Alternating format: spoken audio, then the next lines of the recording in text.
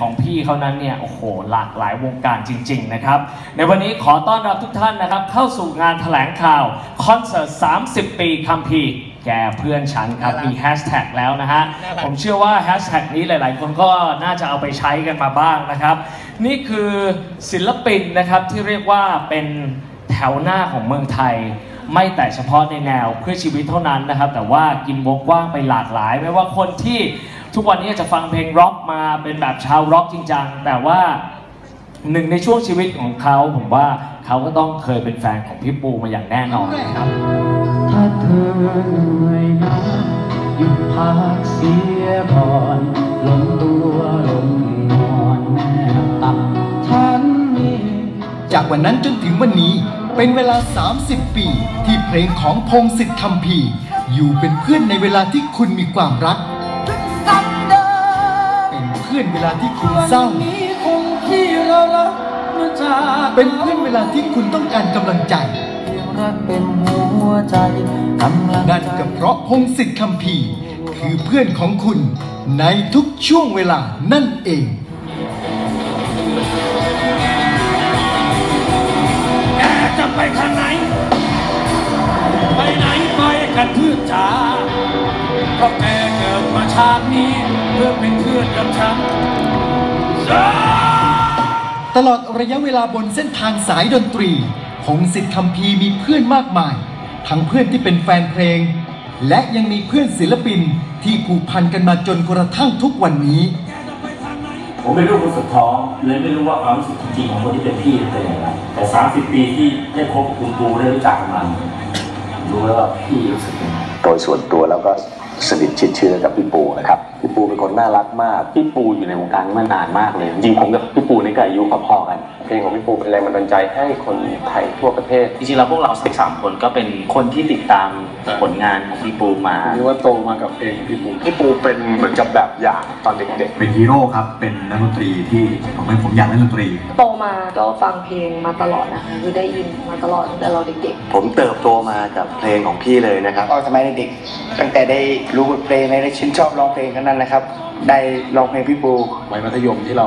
เริ่มเล่นดนตรีครับก็ได้รับอิทธิพลต่างๆจากพี่ปูเพลงของพี่ปูเนี่ยทรงพลังมากๆพี่ปูสุดยอดมากแล้วก็เหมือนกับไอดอลของพวกเราเป็นตำนานๆเป็นครูเพลงเสียงร้องของพี่ปูเป็นเอกลักษณ์และมีพลังเราจะโตในยุคที่มีวงเพื่อชีวิตหลายๆวง แต่ว่าพี่ปูจะมีความแตกต่าง ทุกๆเพลงที่พี่ปูเขียนขึ้นมา ทุกๆเพลงที่พี่ปูร้อง ผมได้ศึกษาและได้เรียนรู้อะไรมากมายจากเพลงเหล่านั้น เราจิตสัมผัสได้ถึงเพลงแต่ละเพลงของพี่ปูแกแกจะ ไม่ใช่ฟังเข้าหูซ้ายที่หูขวาเหมือนจะเข้าหูซ้ายแล้วลงไปในหัวใจทันทีเพื่อแทนคำขอบคุณให้กับเพื่อนทุกๆ คนจากใจ ในโอกาสพิเศษ ครบรอบ 30 ปีคัมภีร์เราจะได้พบกัน ในวันเสาร์ที่ 9 กันยายนนี้ณ Impact Arena เมืองทองธานี กับคอนเสิร์ตที่ยิ่งใหญ่ที่สุดในชีวิตของผู้ชายคนต้องนี้ขอร่วมยินดีนะครับที่ 30 ปีแล้วนะครับ ที่พี่ปูได้มีบทเพลงให้กับทุกๆ คนได้มีความสุขการเดินทางในเส้นทางดนตรีที่ยาวนานขนาดนี้นะครับพี่ปูคงคงสร้างอะไรมามากมายเต็มไปหมดแล้วก็แน่นอนว่ามันคงถึงเวลาที่จะได้เฉลิมฉลอง ศิลปินที่จะอยู่ได้จนถึง 30 ปี แล้วยังมีแฟนเพลงกลุ่มใหม่ๆ เกิดขึ้นเรื่อยๆ ด้วย พี่ปูสุดยอดมาก จริงๆ พี่ปูน่าจะมีครบรอบทุกๆปีทุกๆปีด้วยซ้ำว่าเพลงพี่ปูดังทุกเพลงก็ขอให้พี่ปูประสบความสำเร็จเป็นศิลปินของประเทศไทยต่อไปเรื่อยให้พี่ปูทำงานเพลงต่อไปเรื่อยๆนะครับยินดีด้วยครับพี่ให้พี่ปูนะครับอยู่ในวงการก็ต่อไปๆสำหรับผมแล้วก็เป็นศิลปินอีกท่านหนึ่งเลยในประเทศไทยที่หาตัวแทนไม่ได้ต้องบอกว่าขอแสดงความยินดีแล้วก็ไม่แปลกใจว่าพี่ปูจะอยู่มาได้ถึง 30 ปีขอแสดงความยินดีด้วยนะครับ 30 ปีแล้วนะครับที่ปูอยู่ในวงการเพลงมา ไม่แน่จริงเนี่ยอยู่ไม่ได้แน่นอน การที่คนคนหนึ่งจะยืนอยู่บนสายดนตรี แล้วมีงานออกมาอย่างต่อเนื่องคุณปูได้พิสูจน์ให้เห็นแล้วว่าเขาทำได้ ยินดีด้วยครับ 30 ปีคัมภีร์แกเพื่อนฉัน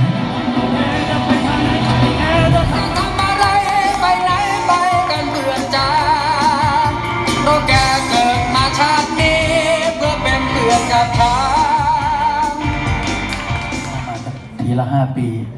เหมือนมันมันเร็วมากเลยครับมาอย่างพอปีนี้อายุห้าสิบโอ้โห โอ้ยไม่ไม่เชื่อฮะไม่ได้ไม่ไม่ไม่ถึงไม่ถึงมองตกใจเหมือนกันนะ ตื่นมาอายุห้าสิบแต่ก่อนผมเห็นพี่ๆเขาเขาพี่พี่เล็กพี่หนาพี่พี่พี่เขาอ่านหนังสือก็ใส่แว่นคือขำเขาครับเดี๋ยวนี้โดนกับตัวแล้ว มาเองแล้วนี่มาเองบางทีต้องมีไกลๆสองร้อยร้อยครับโอ้ประมาณนั้น พี่ใช้เวลาในการออกอัลบั้มประมาณ 2-3 ปีอัลบั้มหนึ่งป่ะฮะใช่ไหมผมนับถูกป่ะหรือว่ามันมีช่วงเว้นด้วย แล้วก็มีช่วงถี่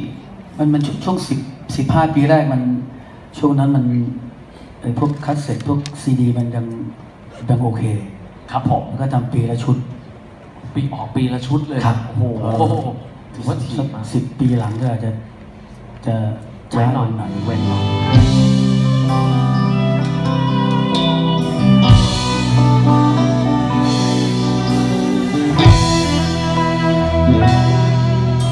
ก็อยากมาหา มาเพื่อจะถามไทยว่าเป็นยังไงรู้สึกดีไหม บอกกันบ้าง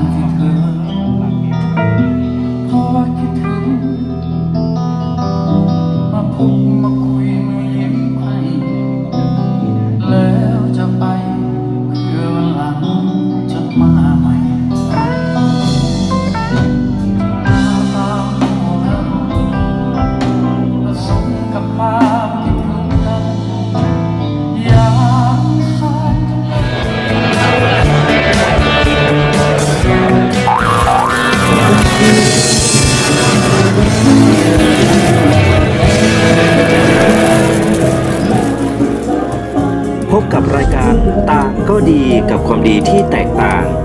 พิธีกรโดย โอมสมรัชนมูลสาย